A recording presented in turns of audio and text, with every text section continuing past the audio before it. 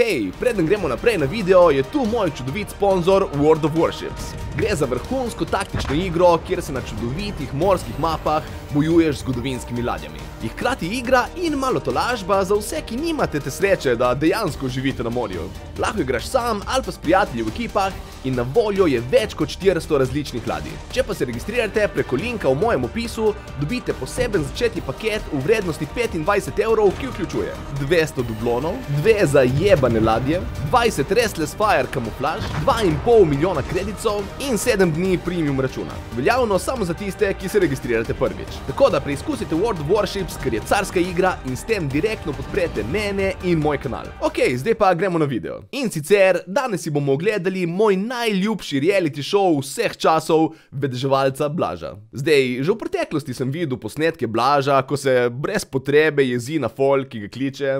Ker? Povejte, datum rojstva. Jo, šesten. Datum rojstva mi povejte. Naprej. Klicu studio nič 97798. Zdaj! Derem se, ker imam pravico. Do zdaj smo jih verjetno že vsi nekako videli, ampak to je samo vrh ledene gore zabave pri tem tipu. V resnici je najboljši del pri njemu to, kako bizaren folk ga kliče in njegov odnos do njih. V tej hiši se je zgodil umor. Ne vem, ali vi to veste. So vam povedali, da se nekdo živ... Kaj? Ne, to pa nisem slišala. Oje, ja bo zgleda res. Kako to ne veste? Ja ne vem, ja. Če mi pa niso povedali, kako mi pa ne, ko mi bo rekel prodajalec, tukaj se je zgodil umor. Ja, ne vem, eni povejo, drugi pa ne. V tej hiši, uh, to ni hiša, to je stanovanje. Ja, to je stanovanje za manjši. A ste lahko tiho, da pogledam Ja, Madonca? pardon. Kar malo se je izmislil, da je bil nek umor, malo napizdi on njo, malo napizdi ona njega, pač ne moreš nehat gledat. In predvsem folk ga ne more nehat klicat.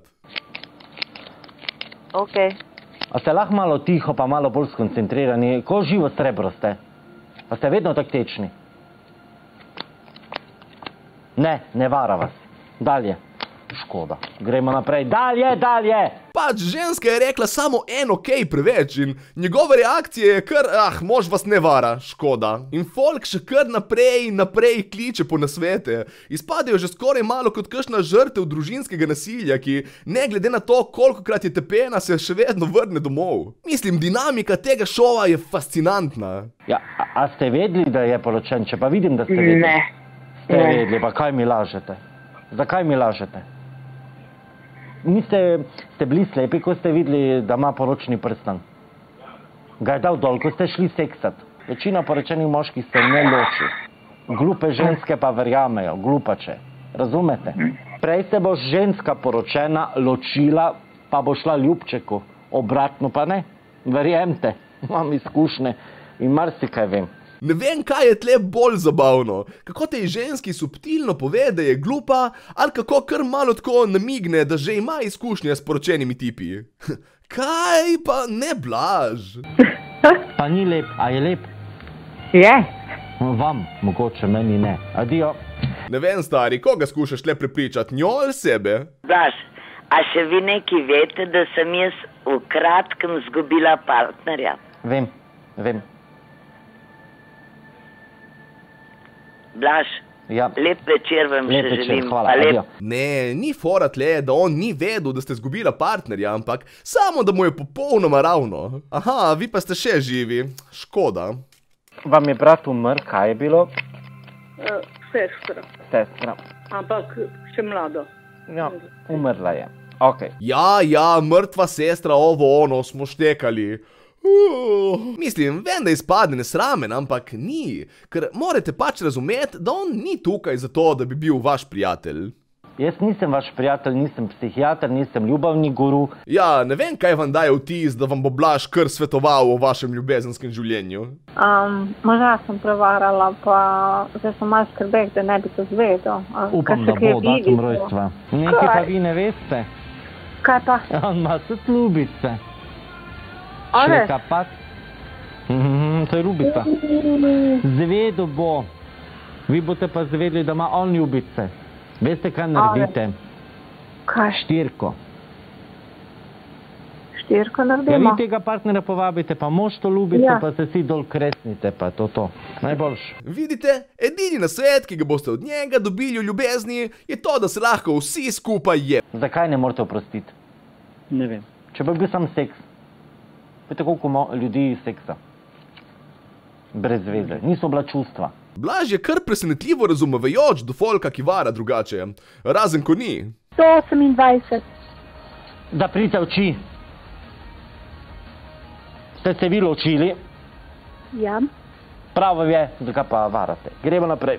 Za dobesedno isto situacijo ima totalno kontrareakcijo. In to je bilo oboje v eni in isti oddaji.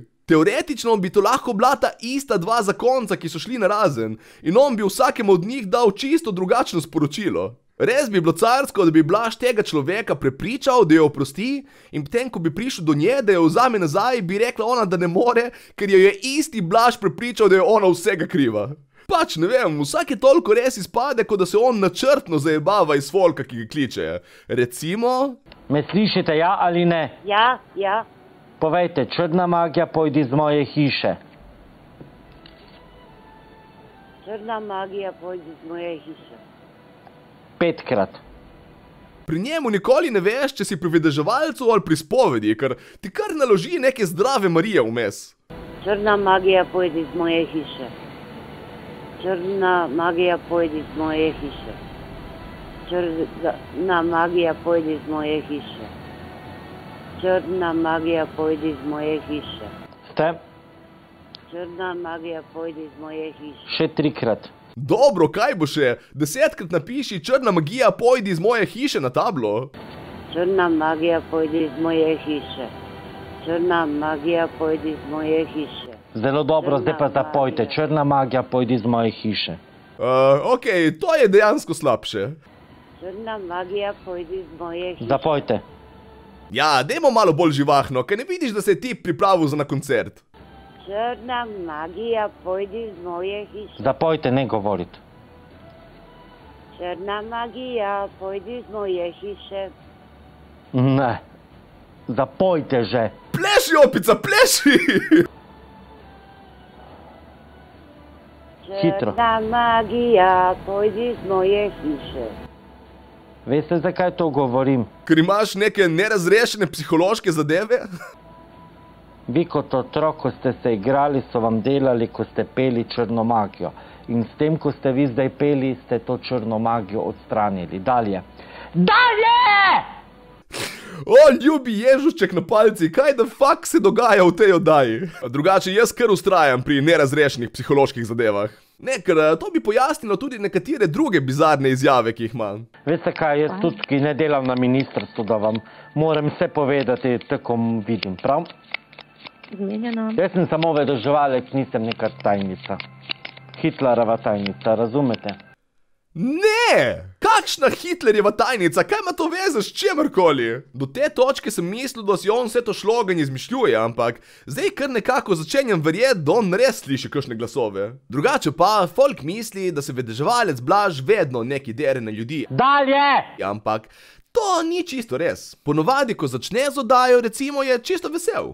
Dober večer, kako ste kaj? Super, odlično pa vem. Odlično, v redu, ko na bledu, datum rojstva. Pol postane prvo malo razdražen, Ona ima probleme v šoli, pa me zanima, če bo letošnjo šolsko leto išlo kaj bolje. Pa meni se bo zmešalo, že taka mala pa sitnoba. pol opozori, da ga publika začenja čisto majčkano jezit, Nehajte govoriti neumnosti, ker me boste razpizli, povejte. pol začne malo popizdevat, Ja, pa kje spoštujejo. Definitivno je zvest. Sam vi ste sitni pa nesramni časih, zadiršna baba do njega preveč. Adijo. pol začne ful popizdevat Dalje, dalje, dalje. Povejte vašo hišno številko zdaj! in tu pa tam malenko zagrozi s fizičnim nasiljem. Pač malenkost. Ne bluzite, ker danes bom to razbil to svinjo prasta, če mi boste še težili. V bistvu ta klip nekako ponazori celoten potek njegove oddaje. Povejte.